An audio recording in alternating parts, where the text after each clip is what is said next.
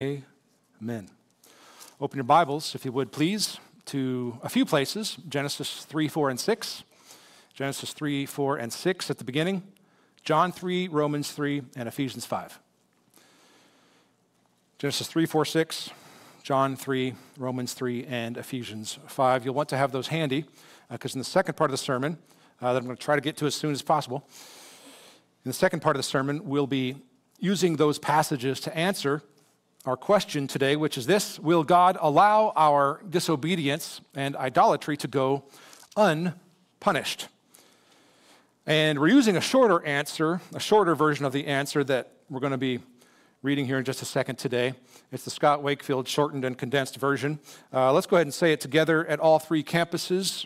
Uh, here we go.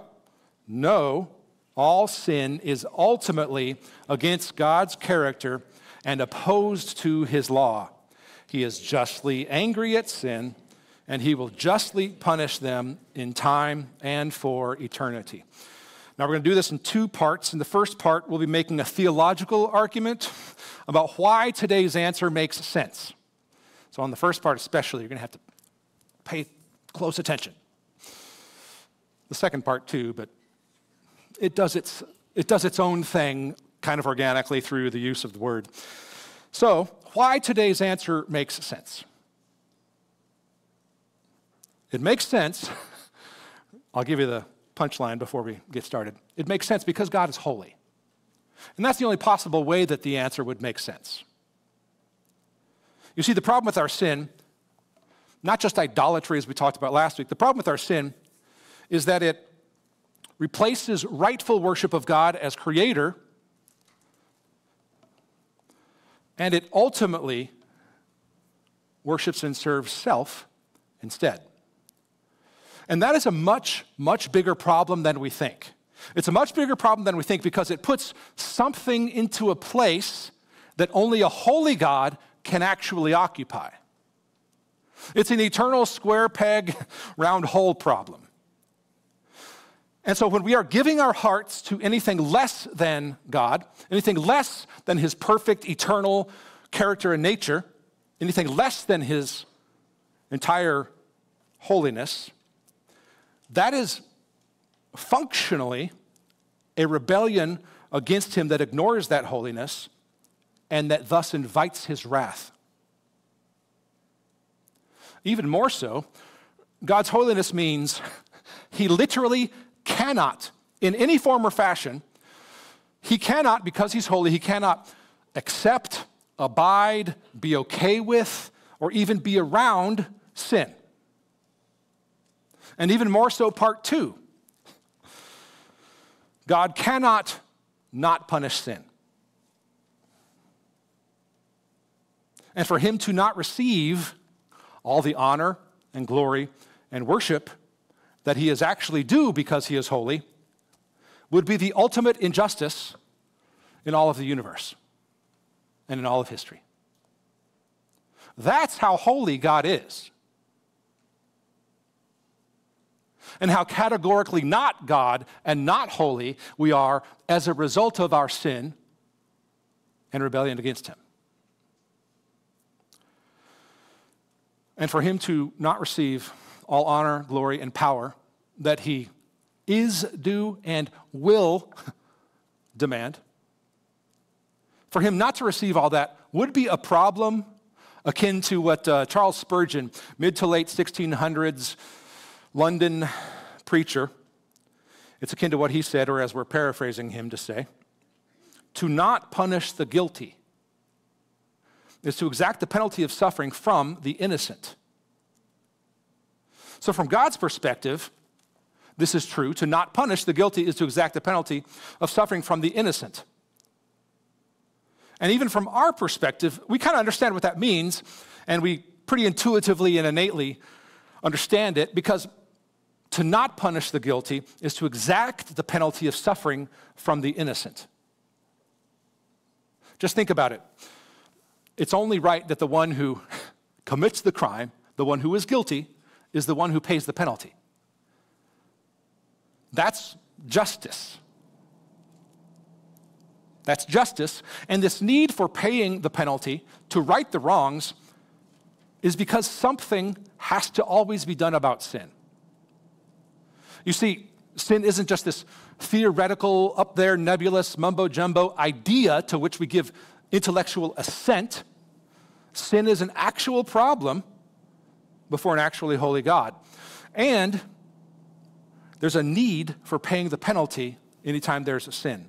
And to not do something about sin, to not punish the guilty, is to let the sin go unaccounted for in a way that forces the innocent party to suffer the injustice of something having been stolen from them. So, when someone is, for example, when someone's abused, and there's, there's no repayment for that wrongdoing, then that wrongdoing, it remains. It's still there. Something has to be done about injustice. Something always has to actually be done about sin. You can't just while it away or wish it away. It actually still remains if that guilt has not been paid for, made up for.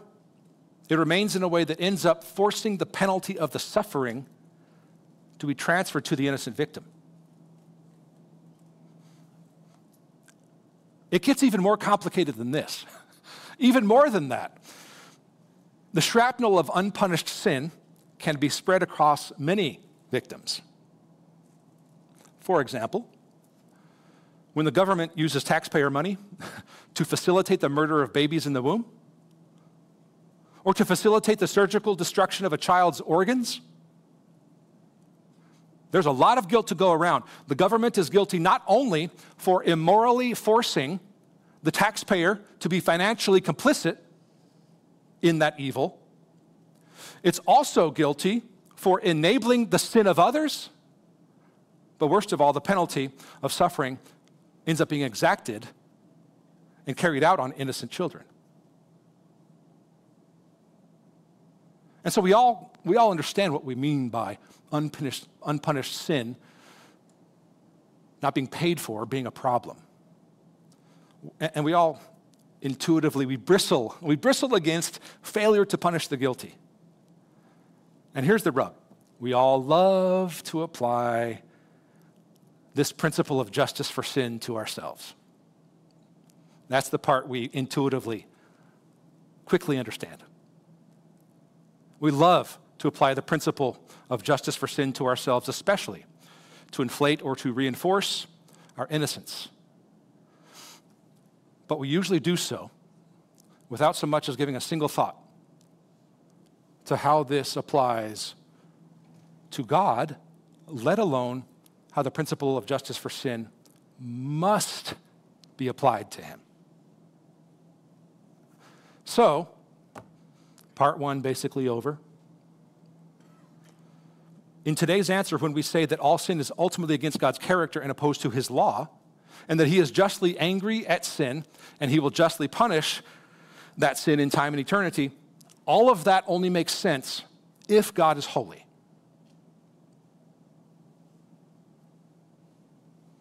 So, that's why that's why we're making this argument because God's holy. Now, let's see some examples of the Bible's teaching in part two here about God's just anger and punishment at sin from his holiness. If God were not holy, everything we're going to say here in part two would not apply, doesn't matter, is not a problem. So, in part two, let's look at where the Bible tells us what God does as a result of his holiness at sin because of evil. And this is going to be a whirlwind, so buckle up. Genesis 3, 4, and 6, a few places in John 3, Romans 3, and Ephesians 5. We're not slowing down for you to catch up and find your place. So, three scriptural arguments in this second half that we're making. Number one is this God justly judges, as we've kind of already implied and said, from his holy character. A few places in Genesis to make this clear. Genesis 3 8, this is immediately after Adam and Eve's first sin against God. It says this in verse 8, chapter 3 they heard the sound of the Lord God walking in the garden in the cool of the day. Remember that phrase, the cool of the day? We're coming back to it. They heard the sound of the Lord God walking in the garden, the cool of the day, and the man and his wife hid themselves from the presence of the Lord God among the trees of the garden. Now, this phrase that we pointed out here earlier, the cool of the day, may seem on the surface to mean nothing important. Um, because most plainly and most literally translated, we're going nerdy here, we're going Hebrew nerd for just a bit here.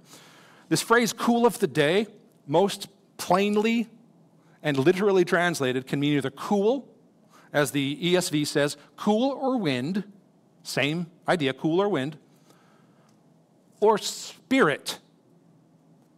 Wind, spirit, same exact word. The word here for wind cooler wind, is the exact and far and away most used word in the New Testament for the Holy Spirit. Which means there's probably something more going on than just, ooh, they heard God walking in the garden at that time of the day where the wind came through and it was cooler than normal.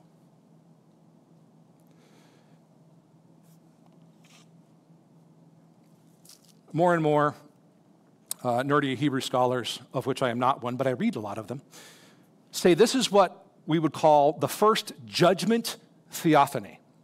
Theophany is a fancy word that means the appearance of God in some form or fashion that, that is a representative of God. It could be an angel, it could be Christ, it could be a vision of Christ, it could be the Spirit of God. All of those forms of God appearing happened in the Old Testament. Perhaps first, in this instance, where a spiritual appearance of God happens at that moment, immediately after their sin, to judge their sin, which makes the most sense given the context. And just to speak to some of the, the differences between wind or cool of the day and spirit, the main reason most modern English Bibles uh, don't translate it that way. Um, is because they lack courage, I think. Uh, it's out of a desire to avoid controversy, and they want to err on the side of being cautious and to avoid translation becoming interpretation, which are all good things. So they like to say, it just means the cooler wind of the day blowing through the garden. But that creates a whole bunch of contextual problems. As if it isn't clearly accompanied by the entire context of God coming to judge Adam and Eve. So, if this means spirit of the day,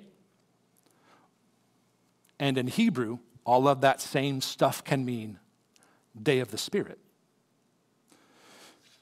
Genesis 3:8 is a precursor to what the Bible unpacks after this moment, time and time and time again, about the coming of the Lord the day of the Lord, the judgment of the Lord, his presence as holy God coming to judge sin. So they heard the sound of the Lord God walking in the garden in the cool or the spirit of the day. And the man and his wife hid themselves from the presence of the Lord God among the trees of the garden. They knew they had offended God's character, his holiness. They'd ignored his laws, which is more evidence that this cool of the day idea is probably the spirit of the day or the coming of the spirit in that moment to judge their sin.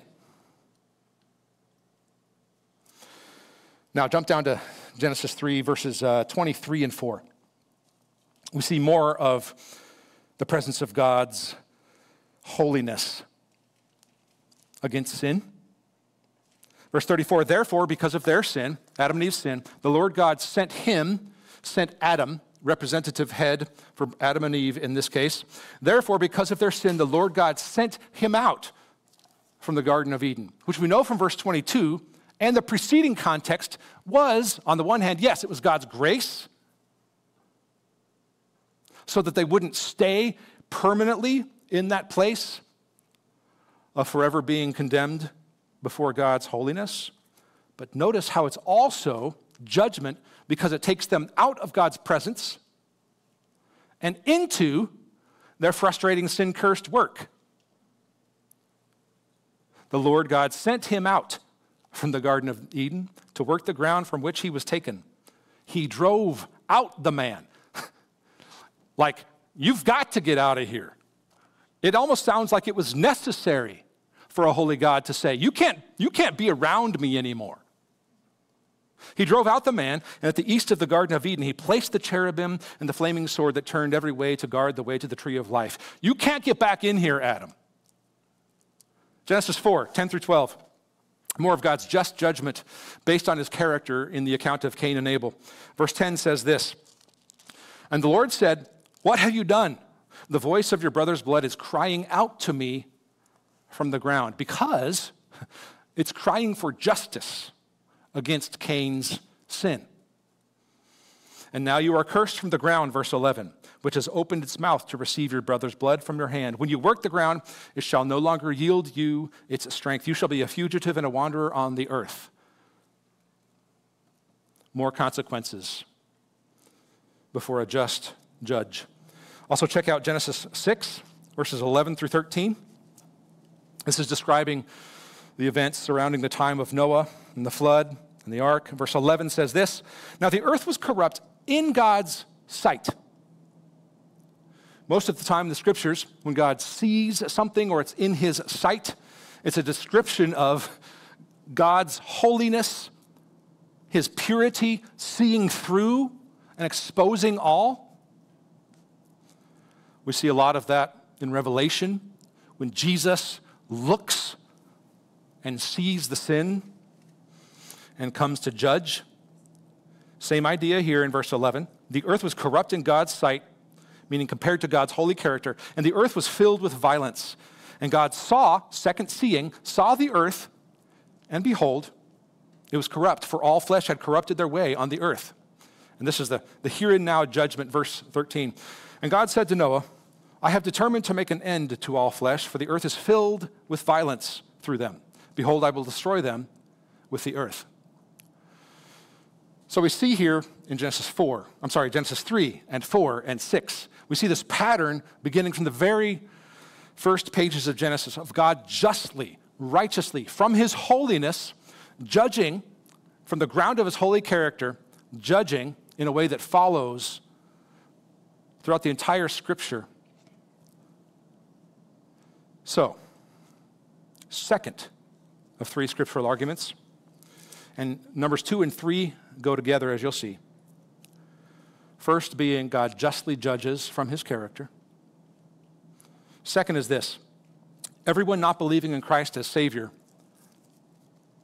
is already rejecting God as holy creator and is justly condemned.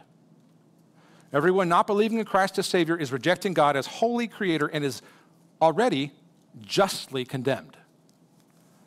This may be a bit of a foreign concept to you, even if you've grown up in church for a long time, but I'm not making this up because it comes straight from Jesus in John chapter 3, where Jesus is in conversation with Nicodemus. Nicodemus is a Jewish Pharisee who was a member of the Sanhedrin, the, the ruling body, the ruling religious body for the Jews at the time. And Jesus confronts Nicodemus in John chapter 3. John starts off by telling us this, verse 1. Now there was a man of the Pharisees named Nicodemus, a ruler of the Jews. This man came to Jesus by night, implication being he didn't want to be seen, talking to this guy who claims to be the Messiah. And he said to him, Rabbi, we know that you are a teacher come from God, for no one can do these signs that you do unless God is with him. In some form or fashion at the time, we see this at the end of John chapter 2, there were a number of the Jews who were beginning to, quote, believe in him, at least ostensibly, theoretically, on the face of it, on the outside, because Jesus was doing all these, these signs that showed something, something from God is happening. And so Nicodemus is kind of testing this out. and, and in the context, Jesus makes clear you don't believe in me. Pick it up, verse 3. Jesus answered him, Truly, truly. I say to you, unless one is born again, he cannot see the kingdom of God. Unless you are spiritually reborn, Nicodemus, you cannot so much as even see the kingdom of God. Verse 4 Nicodemus said to him, How can a man be born when he's old? Can he enter a second time into his mother's womb and be born? Jesus answered, Same idea. Truly, truly, I say to you, unless one is born of water and the Spirit, from a cleansed through God's Spirit kind of rebirth, a spiritual rebirth, unless that's the case, not only can he not see the kingdom of God, he can't even see it, he also can't enter it. Why? Verse 6 that which is born of the flesh is flesh, that which is born of the spirit is spirit. When Jesus says, by the fruit you will know, the externals show the internals of the source of one's birth. That's from flesh, is obviously flesh, that's born of spirit, is spirit. You don't believe in me because you're born of flesh, Nicodemus. You can't even see the kingdom or enter the kingdom because you've not been reborn by the Spirit. You are not birthed of the Spirit, you're birthed of the flesh. Verse 7 Don't marvel that I said to you, You must be born again. The wind blows where it wishes, and you hear its sound, but you don't know where it comes from or where it goes. So it is with everyone who is born of the Spirit. So Jesus is making the point that Nicodemus doesn't believe in his own claims about being from God the Father because Nicodemus isn't born of the Father, not born of God's Spirit. Now, jump down to verse 16, where it starts to get interesting. Jesus expands on this idea to include the idea that Nicodemus's unbelief is the same as being condemned. Unbelief in Jesus is the same as being condemned already. For God so loved the world that he gave his only Son, that whoever believes in him, which is a participial phrase that means the ones who are believing in him, they should not perish but have eternal life. But here's the rub verses 17 and following. For God did not send his Son into the world to condemn the world. Press pause real quick often quoted, the Father did not send the Son to condemn the world, as if Jesus isn't being judgy because he's very tolerant. That's a terrible mistranslation of what's going on, a misunderstanding of what's going on. It doesn't even read past verse 17 to understand Jesus isn't being nice or tolerant or not judgy. His presence is judgment. That's what Nicodemus didn't even understand yet. Him being there is judgment. He doesn't need to judge because all who believe, who, all who don't believe, are condemned already. Jesus says it himself. Don't believe me? Keep reading verse 17. God did not send his Son into the world to condemn it, because it's already condemned through unbelief, but in order that the world might be saved through him, here it is, verse 18 Whoever believes in him is not condemned from Jesus' mouth, but whoever does not believe is condemned already because he's not believed in the name of the only Son of God. Remember, we said that Jesus' presence alone is judgment. This is the judgment. He says, verse 19, Oh, you mean Jesus does judge? This is the judgment. The light has come into the world which in the Gospel of John is Jesus. Jesus is that light.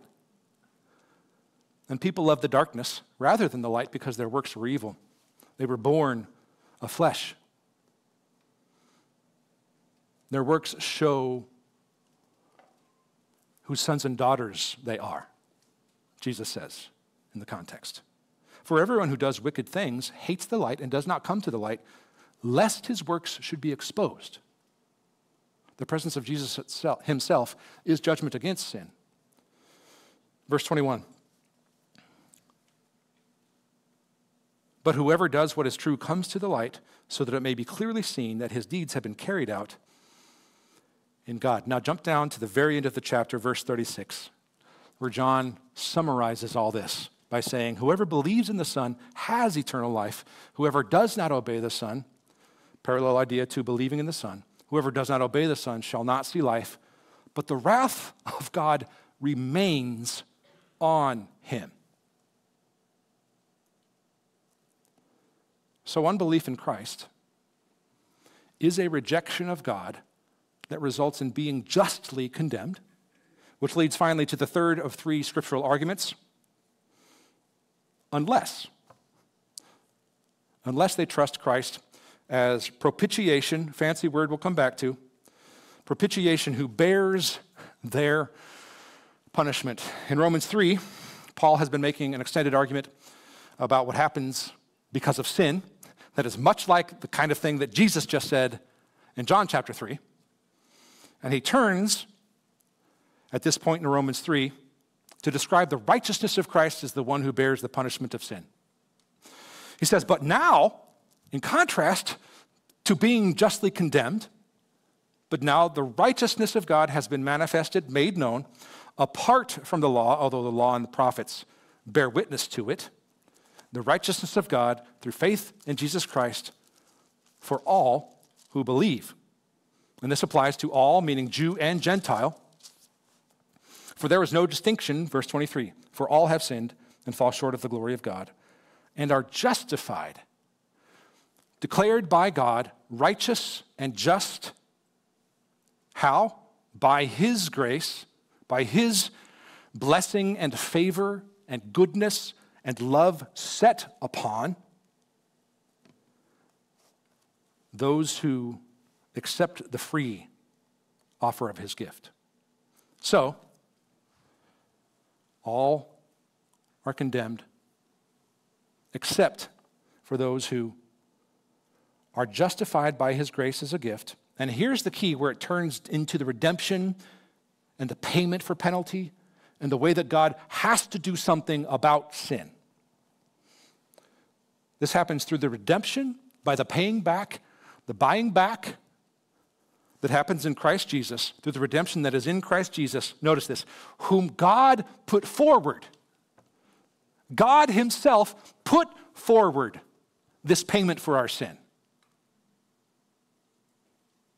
Out of the goodness and mercy and grace of a God who has no responsibility in terms of His holiness to do anything for us, He puts Him forward as a propitiation. As the one who assuages and satisfies, satisfies God's just and righteous anger against sin and evil. And how does he do this? By his blood.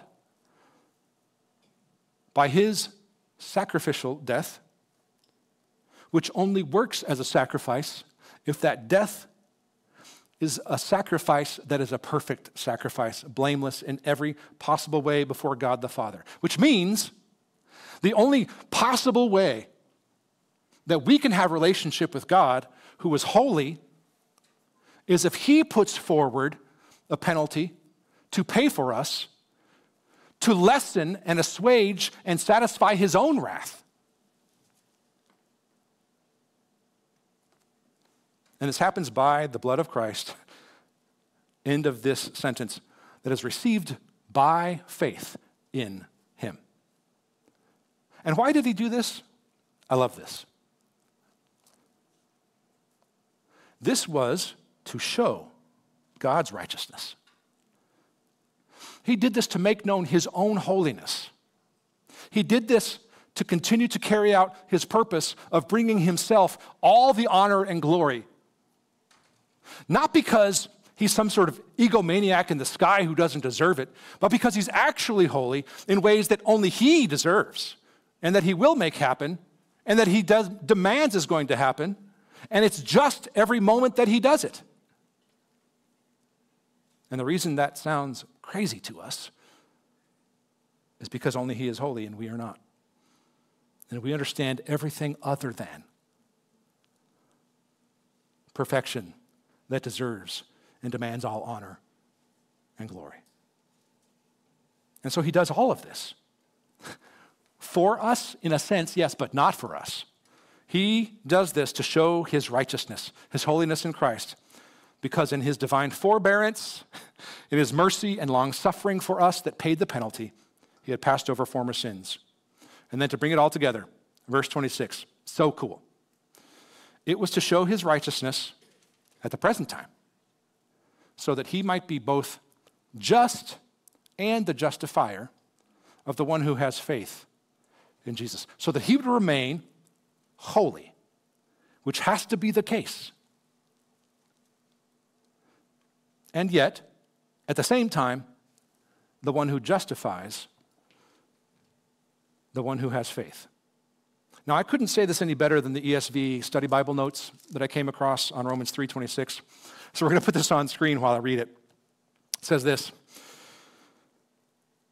In the cross of Christ, God has shown himself to be just, meaning he's entirely, utterly holy in and of himself, perfect in every conceivable way, and categorically other and different in a way which is so true that the things that we are like about him and pointing to him are a reflection of him. But they don't come from our character and nature without his existence. So, he's utterly holy. So, he's just because the penalty demanded by his own moral law is not merely taken away, right? This isn't a theoretical God saying, uh, let's just go ahead and undo that. We would still be condemned in our sin because something has to be done about sin if he is righteous and holy. So he doesn't just remove it, but he actually pays for it. He pays for it by Christ so that he would remain just, and yet he is also the justifier. He's the one who provides the means of justification, declaring people to be right and standing with himself, and the Savior of all who trust in Jesus. Now, here's the beauty of it. This is the heart. Here is the heart, it says, of the Christian faith. For at the cross, God's justice that has to be maintained and his love meet at the same time.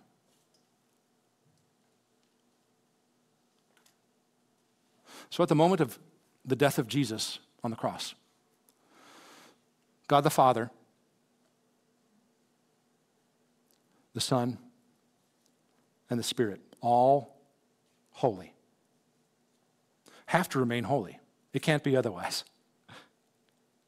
And yet, in a broken, sinful, cursed world, because of our sin, from which we cannot have relationship with Him, he maintains his justice in a moment where he extends to us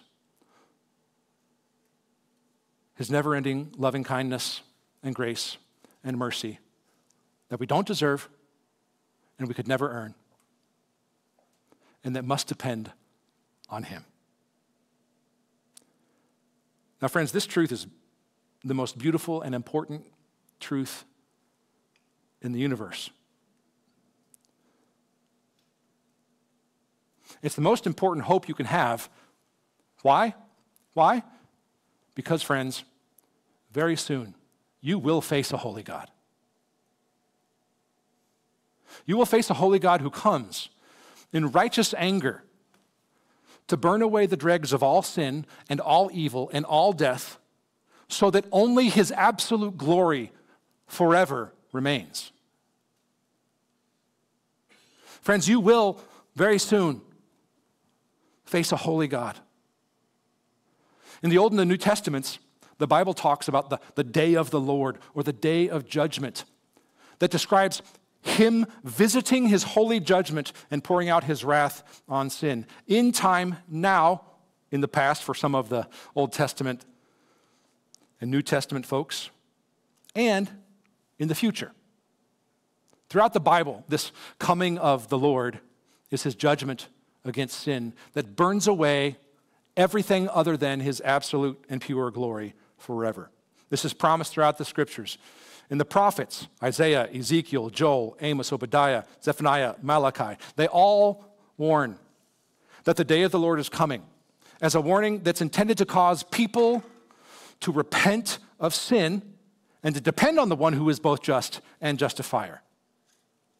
It's a warning to say, I'm coming and this will happen in a way which means you'd better be ready because you're going to face a holy God. He's telling us we're going to face him. Ecclesiastes 12 says, For God will bring every deed into judgment with every secret thing, whether good or evil. Obadiah, the first chapter, says, The day of the Lord is near for all nations. As you've done, it will be done to you. Your deeds will turn upon your own head. 1 Peter 4 says, They will give account to him who is ready to judge the living and the dead. Hebrews 9 says, It is appointed by God for man to die once. And then after that comes judgment. Jude 7 speaks of how Sodom and Gomorrah are an example because they undergo a punishment of eternal fire. Revelation speaks of a lake of fire that's a place of eternal punishment for those who do not believe in Christ and as Lord. Friends, the truth of the scriptures and what God tells us about his holiness is that very soon we will all face a holy God, which is why in Ephesians 5, Paul speaks with urgency about these things. He says in verse 5, You may be sure of this, certain of this, that everyone who is sexually immoral or pure or impure, who is covetous, that is an idolater, has no inheritance in the kingdom of Christ and God. Let no one deceive you with empty words, for because of these things, the wrath of God comes upon the sons of disobedience. Verse 13, but when anything is exposed by the light, it becomes visible, for anything that becomes visible is light. Therefore, it says, Awake, O sleeper. Arise from the dead Wake up and realize that when a holy God comes,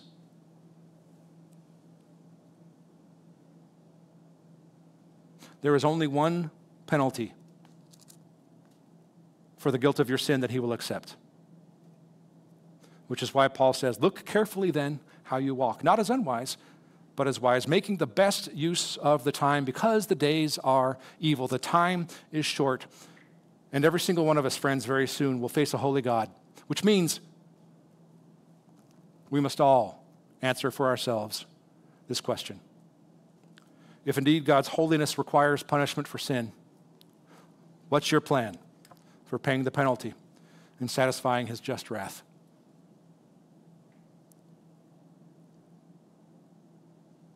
In 2 Peter 3, Peter quotes Jesus saying, The day of the Lord will come like a thief.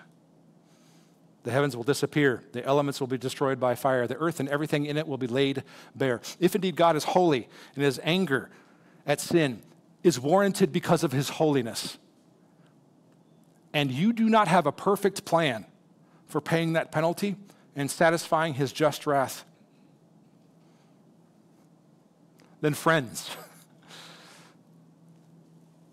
by faith, take courage that in Christ today can be the day of your salvation. Because you understand that in the cross of Christ alone, by which he is a full payment for actual sin by an actually holy God, you can have a perfect, forever relationship with a holy God. Let's pray.